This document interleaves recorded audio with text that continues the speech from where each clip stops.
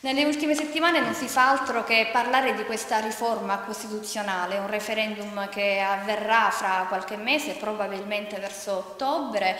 Di questo ne ha parlato ieri in Consiglio Comunale il consigliere Nicola Lagrutta, eh, un intervento il suo che è stato mirato ad informare i cittadini di quello che c'è all'interno di questa riforma, ehm, quello che c'è che realmente non viene mai detto. Qual è la problematica? Un intervento anche, permettimi di dire, molto accorato. Sì. Perché la democrazia in questo paese non deve assolutamente arretrare né involversi, dobbiamo andare avanti. E allora, referendum costituzionale, voglio dare delle informazioni intanto ai cittadini immediate, dirette, di modo che ognuno poi è nelle condizioni di eh, informarsi anche da sé. Allora, diamo la prima informazione. Ehm, Gazzetta ufficiale 15 aprile 2016, se andate a cercare su internet la trovate, trovate il testo di questa riforma costituzionale che consta di oltre 40 articoli. Vi andate a scaricare il testo, c'è da sapere che con un sì o con un no deciderete su 40 articoli della Costituzione. Dico subito che io voterò no.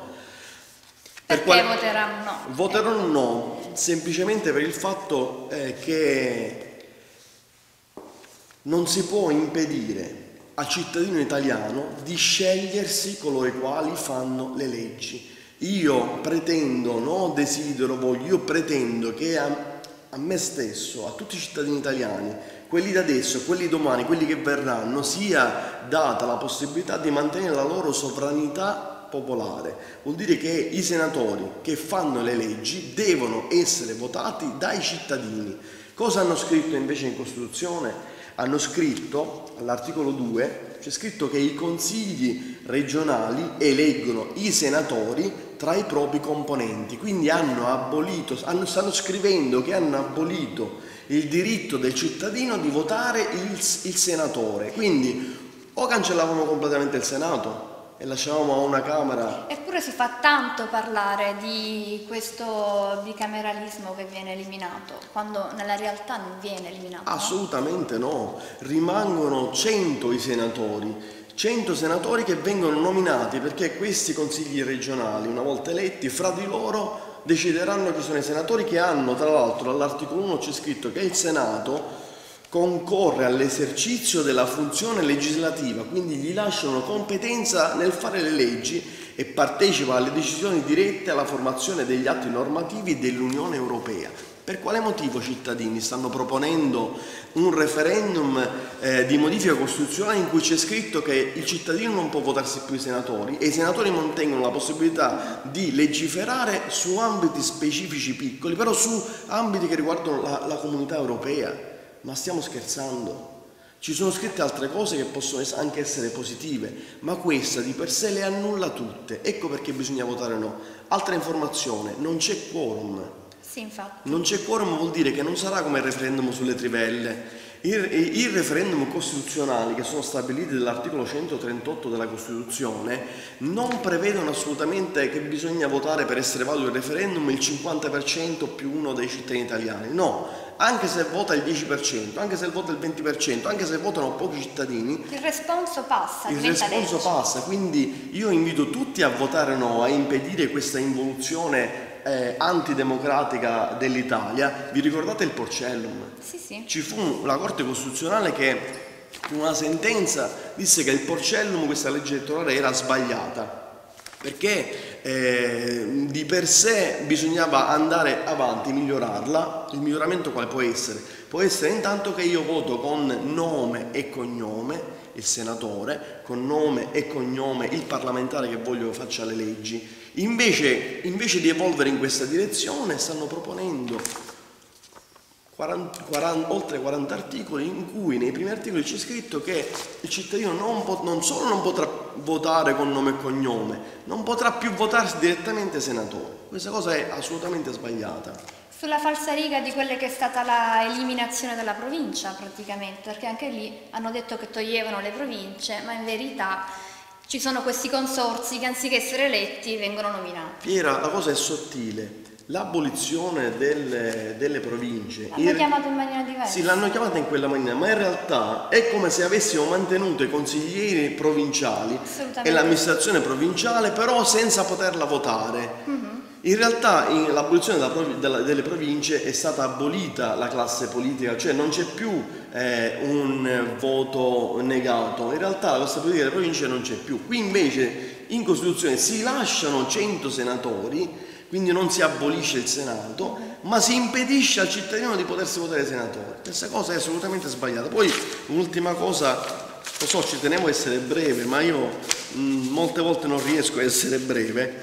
Vedete, la Costituzione serve ad allargare la sovranità popolare, a questo serve, e poi soprattutto stabilisce dei principi. Questi principi devono essere chiari, espressi con parole chiare e devono essere sempre validi.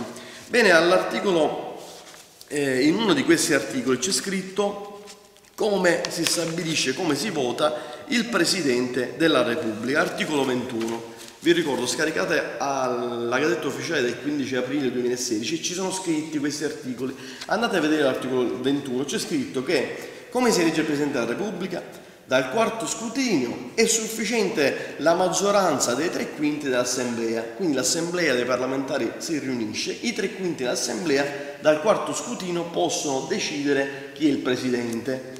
Cosa succede però, ecco la cosa assurda, dal settimo scrutinio in poi, molte volte succede che si arriva a questo punto, molto spesso nel settimo. C'è scritto dal settimo scrutinio è sufficiente la maggioranza dei tre quinti, non dell'assemblea, dei tre quinti dei votanti.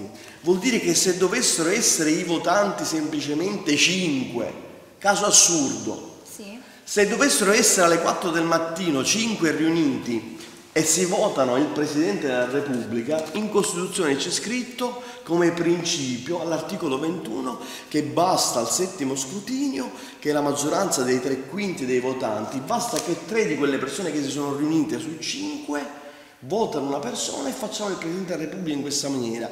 Questa modifica costituzionale è stata fatta con assoluta, eh, con, con, la non dovuta attenzione, è stata fatta con un, piuttosto con, con super, superficialità e eh, questa involuzione, la, la, Costituzione si può cambiare. Certo, però sembra non, che anziché andare avanti stiamo, stiamo, stiamo tornando indietro. indietro. Indietro. Io mi aspettavo dei cambiamenti diversi, dei cambiamenti che portassero veramente ad ampliare ancora di più la sovranità del popolo e quindi a rendere il popolo ancora più partecipe. Anziché arrivare che il popolo può comunque anche scegliersi il Presidente del Consiglio, che sarebbe pure ora. Sarebbe pure giusto. Che fossimo noi a scegliere il Presidente del Consiglio, niente, ci tolgono anche la possibilità di eleggere i senatori. Il diritto di voto a farsi benedire. Allora, la... Come la possiamo chiamare questa? Democrazia? Secondo te la possiamo chiamare democrazia?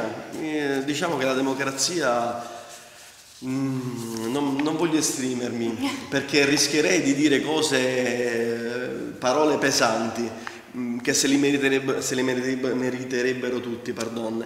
Eh, il punto è che mm, lo scopo deve essere di rimettere le chiavi della democrazia in tasca ad ogni singolo cittadino ogni singolo cittadino reso partecipe eh, alla comunità attraverso anche il combattere la povertà. Il reddito di cittadinanza consente ad ogni cittadino italiano, qualora fosse approvato ed è questo provvedimento ha i pareri positivi, è stato già depositato, il senatore Nunzia Catalfo l'ha depositato, con pareri positivi, se andiamo a votare quel provvedimento, non capisco perché continuano a non farlo, ogni cittadino italiano, non più povero, non più bisognoso, non più appressa al politico a cercare il posto di lavoro per i tre mesi oppure il lavoro per il figlio, no, perché con 780 euro ad ogni persona che è eh, senza reddito, noi riusciamo a combattere la povertà, a rendere libero quel cittadino di potersi votare un progetto e non chi gli dà la busta della spesa o il posto di lavoro di tre mesi, facciamo un'altra cosa, non è sussidiarietà. Questo provvedimento consente ai cittadini che momentaneamente sono in difficoltà e non hanno lavoro non di farsi il doppio lavoro, quello in nero, e prendersi i 780 euro. Assolutamente no, l'articolo 9 di quel provvedimento, di quel disegno di legge, c'è scritto che il cittadino è automaticamente disponibile nei confronti di tutte le amministrazioni pubbliche. Quindi i comuni, eh, il comune di Manzana del Vallo, che ha eh, diversi cittadini che usufruiscono del reddito di cittadinanza può chiedere a tutti questi cittadini ogni mattina di andare a, a, prestare servizio per pulire le strade, per sistemare, insomma ognuno per le sue competenze si mette a disposizione della collettività. Una specie di servizio non, civile. Assolutamente, non ti do i soldi e ti gratti a casa, no, io ti do i soldi e tu cittadino italiano riacquisti dignità e una funzione sociale, inoltre devi obbligatoriamente, devi anche formarti, quindi non solo presti il tuo servizio, il tuo lavoro, ma ti devi formare per cercare di rimetterti in carreggiata, creare nuove aziende, nuove imprese, riconquistarti una posizione di lavoro in società. Con questa situazione abbinata al fatto che poi le votazioni potrebbero venire, se veramente andiamo tutti in quella direzione, in maniera molto più democratica, scegliendosi le persone, scegliendosi il progetto indipendentemente dal bisogno personale, e allora sì che facciamo dell'Italia un paese veramente democratico che decide il suo futuro e il futuro dei suoi bambini.